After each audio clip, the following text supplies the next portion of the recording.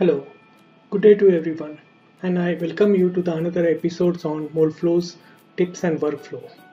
In this episode, probably I'm going to take you through the key announcements that Autodesk development team has done in in Moldflow 2023. Well, there are several announcements, but in this episode, we will start with the some of the key announcements which are directly impacting our productivity, workflow, and ease of use. At the same times, we can able to represent the results or interpret the results in a much simpler form. So with that, probably let's get started. One of the key announcements that you're able to see in Autodesk Moldflow 2023 is how we represent the 3D grill elements now these type of grill elements part or the parts with having a number of repetitive type of you know features we often refer, refer them as grills uh, would be able to find it into the uh, components used in the electronic industries particularly in semiconductor industries. And the example that you see on your screen uh, is from the LCP Intel CPU socket from Foxconn and uh, it's it's a collaboration project that uh, Autodesk team has worked with a uh, Celanese. So what, what uh, how we represent these complex elements uh, uh, with the 2023 release? Probably before the 2023 release, uh, if I need to do a analysis I would have been done onto the full-blown model like you see on your screen on our right hand side. And with the number of features it increases the number of elements counts as well. And I'll show you example in few minutes that how you know I try to you know analyze a full-blown model and roughly took me like an 10 to 11 hours on a, a very similar components. But if I represent the same elements in a much simplified form. With the new 3D element attributes I was able to do it in a three hours time or so. So approximately uh, what we are trying to do is to capture the effect of those repetitive pattern or holes in a simplified geometry. And this can be well you know synergize or comparable with the filling pattern what we see in a blow, full blown model pressure is quite able to map it as well as the temperature and frozen layer pattern as well. Fiber orientations can be well captured with these uh, 3d grill elements attributes as well and also it can be extended to the warp. So it is a much easier way of representing the CAD model with less number of nodes and elements. And of course as I mentioned that I could able to solve it much faster as compared to the full-blown model. And so as I am also reducing down my memory requirement as well. And probably this is a good example what you see on your screen where I try to compare a, a full-blown model and you can see that the filling patterns to extend are are comparatively matched or fully matched. I would not say uh, they are 100% matched, probably they are like 97-98% to the close approximities also. How is the pressure represented?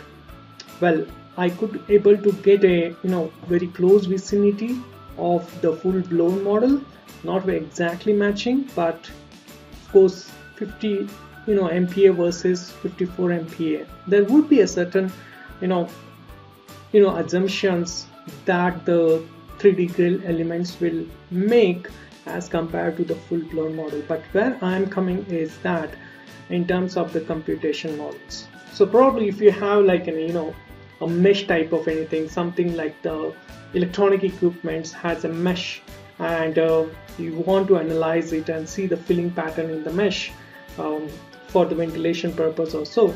You need not to model a 3D uh, full model, it could be represented with a simplified model as you see on your screen.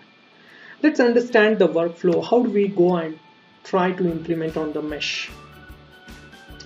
you know when you are working on a uh, Moldflow 2023 any of the mesh if you right click on attributes onto the page of the element or the part 3d element you will see a new dialog box or the new uh, menu that is coming up is the cross sectional shape 3d uh, and then by default it would be a flat and then you can have option of like hey I selected this much of the portion now I can convert this portion into grill with round elements or the you know grill with the square elements and so on and so forth so this is an example that I try to show it is for the cross section shape that is grilled with the round elements. You do have an option of like choosing a through through hole or a blind hole. And you can define the through through hole will not it's no way it's like a completely hole so we will not be asked for the depth. But if it is a blind hole then you will probably ask. Then the distance between the holes I'm not talking about the distance between the like the center to center but it is the distance between edge to edge then the diameter of the hole and how accurately are you able to represent it? Actually imperfection in the round hole sometimes you know we have the holes that are little elliptical you know uh, that may be a, like in a combination of the squarish and and the circular hole or so something something that. If you're not able to represent it very properly you can put the imperfect you know uh, round hole that I'm not able to represent it completely. I'm using a imperfection. So you're adding the error to actually. Okay? And the example that I'm going to show it is on to the speaker grill again um, where uh, development team has worked on it and they were you know more than happy to share the model with us for this demonstration. And onto the extreme left hand side you'll see a full blown model. And the injection injection pressure needed is for 135 MPa and the model with an you know no holes it is just a flat model. But obvious you will not see the retardation of the filling pattern uh, as you see because of these grill holes over here. And the pressure requirement of course would be less. And now we have represented same model with the 3d grill element attributes and uh, the pressure requirement is pretty very close to that of the full flow model. So with that probably let's get started. I will show you the de actual demonstrations and the comparison between and how do we go and assign those uh, element properties as well. So this is what I was referring it to the uh, model. Um, it's like a speaker grill with a lot of you know repetitive pattern of those small circular holes. And I meshed it quite fine. So I created around like you know 83 lakh elements so or more. Than, sorry yeah. Something around like you know 8.3 million elements roughly actually yes that's correct 8.3 million elements that I created to represent this model and you probably know that how long now it is going to take a, to run this type of analysis. As I mentioned that I run it on a full-blown model and I run it onto the cloud. It's to take like you know nine hours actually uh, to run the uh, these simulation. It's quite a big model also.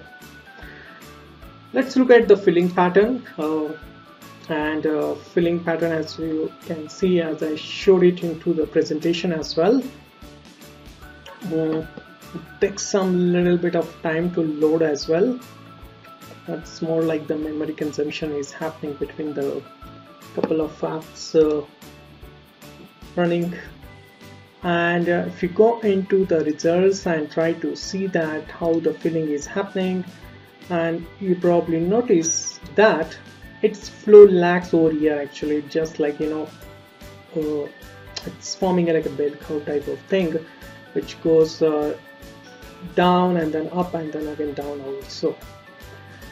And these are the areas that are last to fill. And I represented a very similar thing. Now in this case the holes that are like you know that's what I was referring is that the distance between the hole is the no edge to edge distance. In this case this will be and then the diameter. And how well I am able to represent these holes are. Absolutely these holes are circular so there is no error in it. And I created a um, very similar model.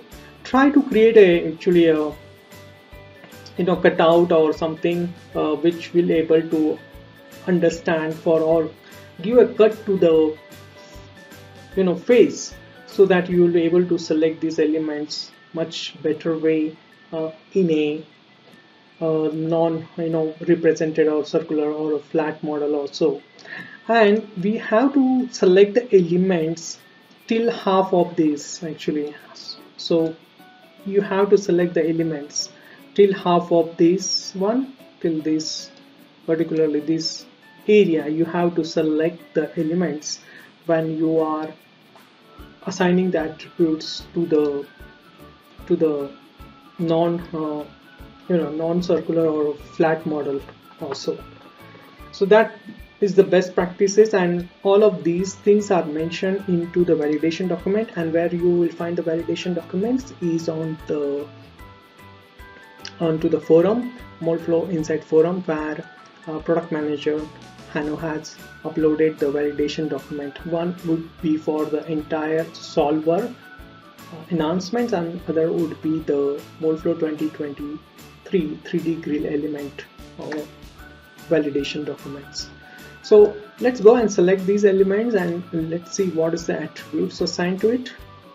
So I selected these and properties and uh, I see the properties as I said that by default. Okay let me take you through this one. If I have the uh, plain model with it no attributes assigned now with the 2023 release probably you'll able to see a little change into this uh, dialog box that comes or appears come on come on come on. Okay you'll able to see that now the cross section here is a flat cross section actually okay so you should be a flat and then you can change it to the grill with the square holes or the grill with the round holes or other shape. So I have selected in this case the model with the only I selected this area and I assigned the attributes as the grill with the round holes and you can edit the parameters we of course it's a through through hole and the distance between the hole is 3 and the diameter of the hole is 5 and I'm able to exactly represent that those uh, round holes. So with that probably let's look at the filling pattern. How does it looks like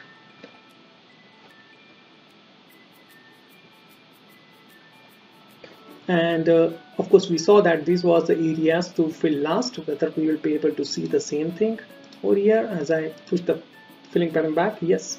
And I could able to see that yes uh, this is the areas and I could able to you know you know properly create that bell curve as well. As I mentioned that it's like an it's down and then goes up and then come again. And very much I would not say exactly I'm matching it but very close to it approximately like uh, you know 95 to 97 percent I'm able to match that exactly. Let's do a comparison 101 and how does it look like. Um, so push it back and uh, I will lock the all the plots and I will lock all the views as well and uh, let's see that how does it looks like. And pushing back on this. One of the will not go and uh, have a look at the each of the results but of course let's say like at one second what's happening over here. Okay I'll close to that one second. Yes. And I could able to see that. Okay view lock all the views. Should be able to zoom in. Yes I'm able to zoom in as well and I can able to see that yes I'm able to exactly replicate the same pattern of that lagginess of the flow along the sides and the flow rushes quite faster from the inside but still lags from the face. How about the pressure? so one on one comparison of the pressure is approximately 180 MPa because it's just like it is taking a longer time uh, it's shooting high that's the reason probably uh, showing the 180 MPa but one is the thing that I could able to match the not exactly but I will close to that matching of the you know pressure switchover so with that probably I will leave it. To try to experiment more onto such models and see how it could be helpful for you to reduce down your efforts. Particularly I would say the analysis time from say 10 hours to down to I mean to say let's see the comparison between this one. I could able to run it in approximately in one hour. That versus the you know uh, no it not two hours probably versus almost like in a 10 hours. So I could get able to see a very significant you know a difference into the uh, into the computation time and not much sacrificing on the results so next time probably we'll come with uh, some more enhancements and see which are directly impacting our workflow. So with that uh, take care of self and uh, talk to you again. Bye